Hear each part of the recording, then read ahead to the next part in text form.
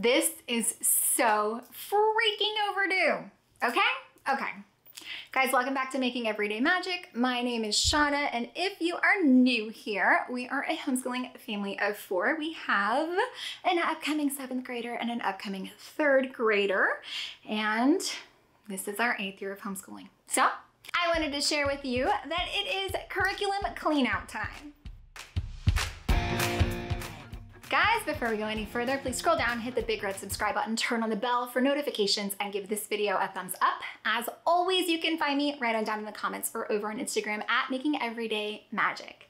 I kind of love this time of year where it's like out with the old and with the new. I can pull out my big box from the attic that we kind of keep all of the uh, stuff we're gonna use again for the second kid, get things cleared away, things brought in.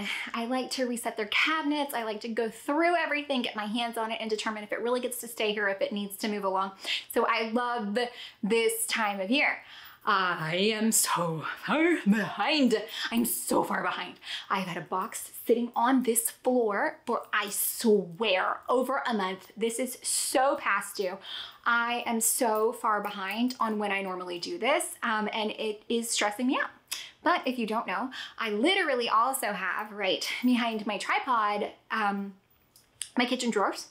We had a small leak over Labor Day. Uh, from the time that I am filming this, we are in June, um, it has been wild wild. Uh, we've had fans and blowers and people, and there's holes everywhere. And uh, just today, he came to like clean up after themselves before, like, we still haven't gotten a contractor in here. Came to clean up like after themselves, the, the water removal people, and like he went to plug in a vacuum, and then all of a sudden I'm like, it smells like electrical fire. Like, is everything okay? And he's like, uh, yeah, just my vacuum like fried. So it is just like, I mean, it is thing after thing after thing. And this was, first world problems, y'all. There are people in the world who have it worse than me. Absolutely 100%. Um, but this does make for a little bit of erratic norms. So moral of the story is that this is long overdue. I'm excited to be getting it done, and I'm gonna let you know what my steps are along the way. I do have stuff that I intend to send to new homes that I will be getting out of my house. And I usually share that over on Instagram. I had one person who requested just a ton of this stuff, which makes my life a lot easier because she just made me a list of what she already wanted. So most of everything I'm getting rid of, I think is already spoken for. But if there's anything else, I do always share that because I like it when things can like have a new home and have a new life and benefit someone else. Um, so I will be sharing that over there. Step one in swapping over my process is I pull everything out. So everything out of my storage cabinet, um, everything out of upstairs, everything out of the girls' individual cabinets, and everything out of my Mom and Me Monday cart. So everything comes out. And from there, I figure out what we need to uh, how we need to sort, what we need to store, what we need to sell or get rid of. And then uh, basically we just start making decisions at that point. I like to wipe everything down because it's the only time it really gets that is kind of like between times. Um, so I like to do things that way. Here it is, guys. Look at this. Now, you may notice that a lot of this stuff is from years and years before, of course, and I will keep it in there if they still enjoy it, if they still haven't finished it, if there's more they want to do, if they never even got around to looking at it, I will tend to keep it in their cabinets. Now, you're going to see a lot of this go right back in because, as you can tell, it's fun learning. It is the things that they enjoy doing. And I am okay with keeping all of that on hand, even during the school year, because that's important to me. I want them to like what they're doing. Now, here it is. Look at that. Oh, actually gets cleaned. The outside gets cleaned a heck of a lot more than the inside does. But it's in use. It's usually super full of stuff. And as you can imagine, it is hard to always get that cleaned out. Now, here is my big kids. It's a little more organized a little more workbooky. Um, and there's some things like the artist watercolor set on the top shelf there that she has had now since her third grade year. So I did not repurchase them for my incoming third grader. As you can see, games, fun things, robotics, random papers, um, some clay that they've had in there forever. Mad Mattr from her very first Timberdoodle set. I mean, just all kinds of fun stuff in there. But it is time for a well needed clean out.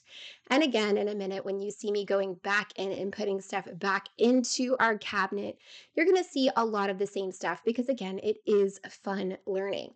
Now I'm pulling out and storing a lot of things, and I am putting things like, for example, this White House puzzle in the back gets shoved to the back and then forgotten about. So it's important to do this to rotate it to get it out in the front so they can see the fun things they forgot that they own.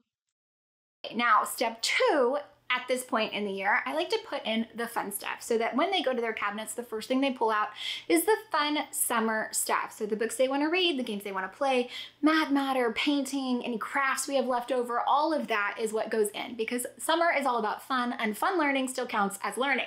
Here are the things that have gone back in lots of games, art, workbooks, uh, robotics, clay, mad mattr, things like that. Now, a lot of things we are actually at the point where they are coming right out of my big kids cabinet and going straight into my little kids cabinet. For example, the scratch coding cards have come out of my big kids cabinet and gone right into my little kids cabinet because she is now obsessed with scratch coding and moving on from the junior edition. So this is handy.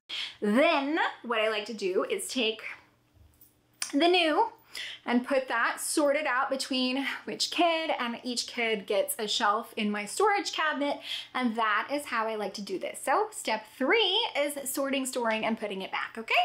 Step three is to sort and store the new stuff that's coming into our next year. Now, this process really helps me get a handle on what I have, what needs to kind of get cycled out or stored away for my next kid. As you can see, we've not even cleaned off our clipboards yet. And then it gives me a chance to see what all we have and also organize it by kid. And it just helps my brain start working. I'm spinning already. I'm starting to think about the things that we have, where they're going to go, how we're going to use them, how we're going to plan them, and really getting a handle on what's in our house, what's going out, what needs to stay, what needs to move along, what fun things we have coming up. And this process also helps my kids get really excited about the schoolwork that's to come because I tend to not let them do the fun stuff until that we have cycled over and officially started that next school year so that they can wrap up what they had before or use the things already in their cabinet. Guys, thanks for coming along and cleaning out, getting ready for our summer curriculum season with me. I hope that you found any of this helpful, entertaining, or informative. If you did, please scroll down, hit the big red subscribe button, turn on the bell for notifications, and give this video a thumbs up. As always, you can find me right on down in the comments or over on Instagram at Making Everyday Magic. Be sure to look over on Instagram if there's anything that you saw that you're like, hey, if you're done with that, I'd like to get my hands on it. Um, if it is available, I will absolutely let you know. Also, let me know you've seen the new stuff has come in. I've done an unboxing and now you've seen me store it away. What do you want to see? What pieces do you want me to look at? I will probably do Math-U-See algebra really early because I want to know what's going on there. So a deep dive I think will be really helpful for everyone. So let me know what you want to see. Also, what do you do for summer? Do you clean everything out from before? Do you leave stuff there? Are you schooling over summer? Do you change it in any way? Do you just lock it all away and say, forget it, it's summer? What do you do? I'm interested to hear. Bye, guys.